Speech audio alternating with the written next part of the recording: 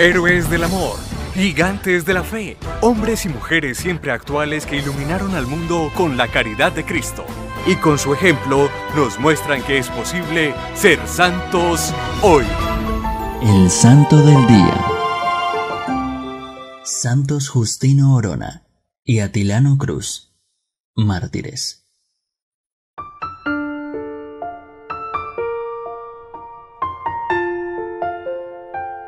Recibieron la corona del martirio en medio de la persecución religiosa en la Guerra Cristera. Justino Orona Madrigal nació en Atoyac, Jalisco, México, el 14 de abril de 1877. Fue educado en un ambiente religioso. Experimentó pronto la vocación del sacerdocio. Se dedicó a hacer los primeros estudios e ingresó al Seminario Conciliar de Guadalajara.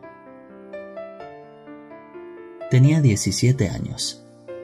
Sufrió muchas carencias en sus estudios por la pobreza de su familia. Era buen estudiante, muy piadoso, humilde y apreciado por sus compañeros y superiores. Terminó sus estudios y el arzobispo, don José de Jesús Ortiz, lo ordenó sacerdote fue asignado a diferentes parroquias, Poncitián, Encarnación. En octubre de 1916, se le confió la parroquia de Cuquío y la rectoría del seminario. A pesar del anticlericalismo e indiferencia de la gente, no se intimidó para hacer su apostolado. Sobrellevó con dignidad las muestras de odio proferidas por ser consagrado. Sus virtudes y vida ejemplar le permitieron afrontar la adversidad y entregarse sin medida. Era amable y bondadoso, especialmente con los pobres. Cuando la persecución arreció, se alejó y decía en una carta a una religiosa, El camino que va lleva a la patria. Hay que seguirlo con alegría sirviendo a Dios, viviendo por el bien del otro.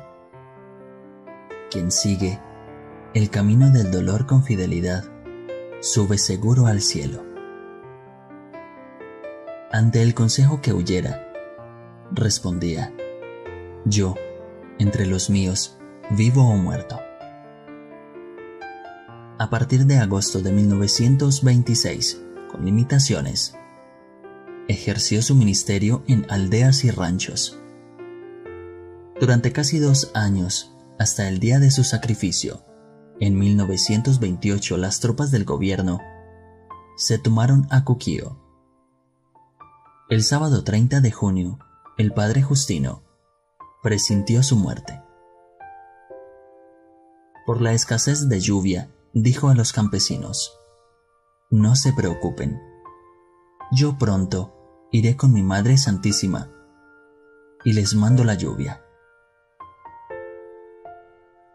Atilano Cruz Alvarado nació en Ahuentía de Abajo, Jalisco, México, el 5 de octubre de 1901.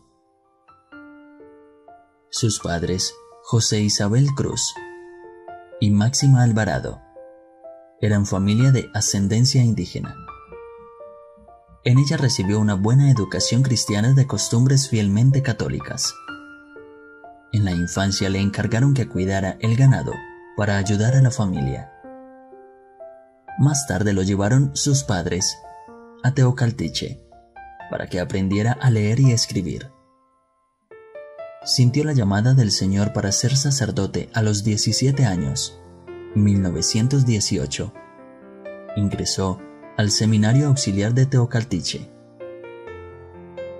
A los dos años fue trasladado al de Guadalajara. Interrumpió sus estudios porque el seminario fue desalojado. Pudo luego terminar los estudios. Fue ordenado sacerdote el día 27 de julio de 1927. Fue nombrado vicario en Cuquío. En muy poco tiempo de su ministerio sacerdotal, un año, trabajó en la pastoral de la parroquia. En agosto de 1926, el culto público fue suspendido y ser sacerdote era sinónimo de destierro. El gobernador de Jalisco ordenó aprender a todos los sacerdotes católicos. Desde entonces fueron asesinados algunos sacerdotes por su condición de ministros del culto. En Cuquío se encontraba bajo el mando José Ayala, hombre de poca solvencia moral. Puso precio a la vida de los sacerdotes que atendían Cuquío. Les tendió un cerco. Los sacerdotes Justino y Atilano se refugiaron en el rancho Las Cruces. En la noche del 30 de junio, los delataron y José Ayala, con un pelotón, llegaron allí. Sitiaron la vivienda donde pernoctaban los clérigos. Los soldados abrieron la puerta. El párroco San Justino exclamó, ¡Viva Cristo Rey! Lo tirotearon y dejaron muerto en el dintel. Remataron y asesinaron al presbítero Atilano Cruz y a José María Orona. Llevaron los cadáveres, se burlaron y los exhibieron en la plaza de Cuquío. Los feligreses los enterraron en el panteón de Cuquío. Se veneran en el templo parroquial de San Felipe de Cuquío. Fueron canonizados por el Papa Juan Pablo II el día 21 de mayo del año 2000. Enseñanza para la vida. Siempre defender la fe a través de la historia.